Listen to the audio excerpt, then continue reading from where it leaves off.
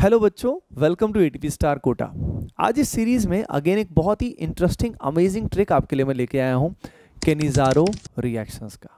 तो Cannizzaro reaction कैसे होती है? वो हम नहीं जानने वाले, हम ट्रिक जानने वाले अमेजिंग ट्रिक जानने वाले, जिससे बहुत ही कम समय में आप कोई भी सवाल केनिजारो का चुटकियों में कर सकते हो। तो आर यू एक्साइटेड यस तो चलिए जानते हैं। देखिए केनिजारो रिएक्शन जो होता है बच्चों, इसके अंदर हमारे पास ऐसा एल्डिहाइड होता है जिसमें अल्फ़ा हाइड्रोजन ज़ीरो होते हैं। अल्फ़ा हाइड्रोजन प्रेजेंट नहीं होते। हैं जैसे कि फॉर एग्जांपल आप यहाँ पे देख सकते हो फॉर्मल्डिहाइड साथ में रिएक्शन होता है कॉन्सेंट्रेटेड एल्कली से और एक रिडॉक्स रिएक्शन होता है। कैसा होता है? रिडॉक्स रिएक्शन अब उसमें क्या होता है? वन ऑफ़ द यूनिट इसका एक पर्टिकुलर यूनिट ऑक्सीडाइज होता है और दूसरा रिड्यूस होता है। तो पहली चीज़ अपने को दिमाग में क्या रखनी है? कि एक तो हमारा बनेगा ऑक्सीडेशन प्रोडक्ट और एक हमारा बनेगा रिडक्शन अब यहीं पे ट्रिक छुपा है। ऑक्सीडेशन का मतलब क्या होता है? ऑक्सीजन का एडिशन तो यहाँ पे क्या करोगे? यहाँ पे जो कार्बन और हाइड्रोजन का बॉन्ड है, इसको तोड़ोगे। और जब ऑक्सीडेशन करना होगा तो इनके बीच में जब तोड़ोगे तो कोई ना कोई तो बीच में आएगा। तो ऑक्सीजन का एडिशन हो जाएगा। ऑक्सीजन का एडिशन हो जाएगा। As the medium is basic basic medium में यहाँ से H प्लस निकल जाएगा एंड हमारे पास ये प्रोडक्ट बन जाएगा। तो ऑक्सीडेशन के लिए क्या करना है? कार्बन हाइड्रोजन के बीच में किसको घुसाना है? ऑक्सीजन को, है ना? तो ये बन गया ऑक्सीडेशन अब यहीं पे जब रिडक्शन प्रोडक्ट बनाना है तो रिडक्शन का मतलब यहाँ पे क्या होता है?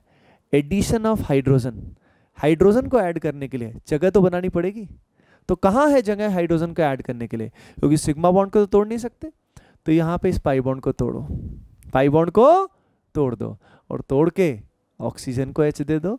और कार्बन को भी एच दे दो। आ गया आपका आंसर, ध्यान से देखिए क्या है। C H three O H do understood the point तो ऑक्सीडेशन में क्या करते हैं? कार्बन हाइड्रोजन के बीच में ऑक्सीजन को फंसा देते हैं। और यहाँ पे जब रिडक्शन होता है तो उसमें हाइड्रोजन का एडिशन होता है। पाई बॉन्ड टूटता है, दो एच आ जाते हैं। ये होता है सेल्फ के निजारो रिएक्शन जिसमें वही यूनिट खुद को ऑक्सीडाइज और रिड्यूस दोनों चीज़ करती है। तो it is a type of disproportionation reaction लेकिन यहीं पे ये सेल्फ कैनिजारो है जिसमें दोनों यूनिट सेम है। अब यहीं पे अगर दोनों यूनिट अलग हो जाए तो क्या होगा? कौन ऑक्सीडाइज होगा? कौन रिड्यूस होगा? अब कैसे ऑक्सीडाइज करते हैं रिड्यूस करते हैं, वो तो पता आपको लग ही गया। नाउ द पॉइंट इज़ कौन करेगा? तो इसमें याद रखिए, इसमें एक ट्रिक ये है कि जो भी, मान लीजिए काफ़ी ओवर वेट है फॉर एग्ज़ाम्पल मोटू है तो उसको रिड्यूस होने की ज़रूरत होती है या ऑक्सीडाइज होने की ज़रूरत है? वो अपने वेट को रिड्यूस करना चाहता है। अब यहाँ पे इन दोनों में से छोटू और मोटू में, मोटू कौन है भाई? ये मोटू है और ये छोटू है। तो मोटू क्या होना चाहिए? मोटू को क्या होना चाहिए? ऑक्सीडाइज या रिड्यूस वेट रिड्यूस करना है। तो मोटू यहाँ पे रिड्यूस होगा। अगर मोटू रिड्यूस होगा बच्चों तो मोटू में पाइबॉन्ड को तोड़ के क्या लगाओगे आप? एच लगाओगे और ये एल्कोहल में कन्वर्ट हो जाएगा। और यहीं पे छोटू क्या हो जाएगा? फुर ऑक्सीडाइज हो जाएगा।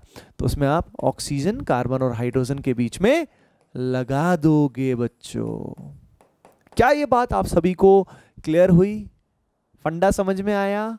आई थिंक ये काफ़ी कंसेप्चुअल ट्रिक है और इसकी हेल्प से आप कोई भी सवाल कर पाएँगे। Hoping that you loved it comment section में ज़रूर बताइए कि आपको कैसी लगी, अगला ट्रिक कौन सा चाहिए और लाइक का बटन तो दबा दीजिए सब्सक्राइब भी कर दीजिएगा। Love you and see you in the next session